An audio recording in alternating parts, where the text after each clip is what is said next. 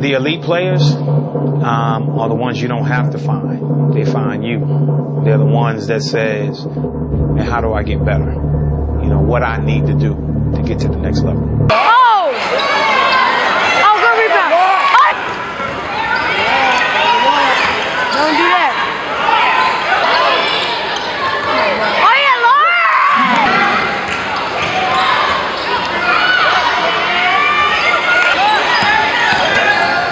Oh, yeah, yeah,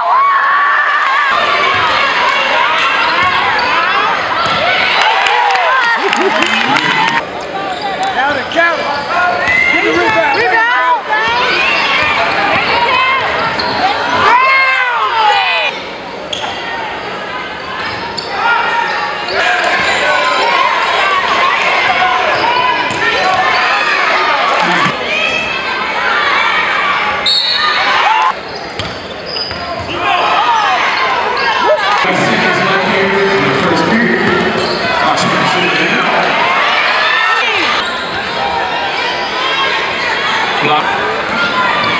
Go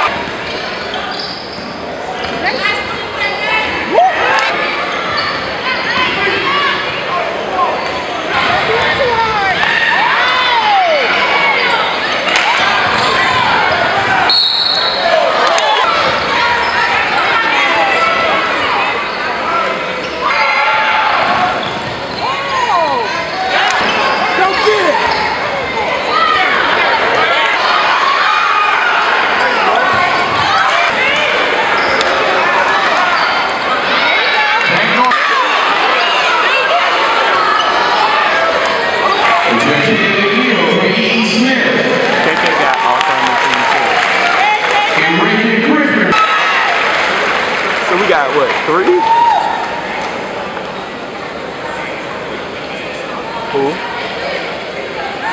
Oh yeah, CC, CC will get MVP. I'm videoing it. Go ahead and give those guys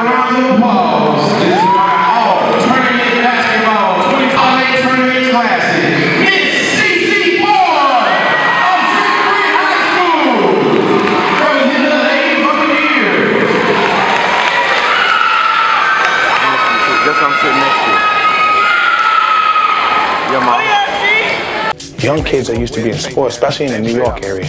You tell a kid he's good. Yeah, you're good, you're good.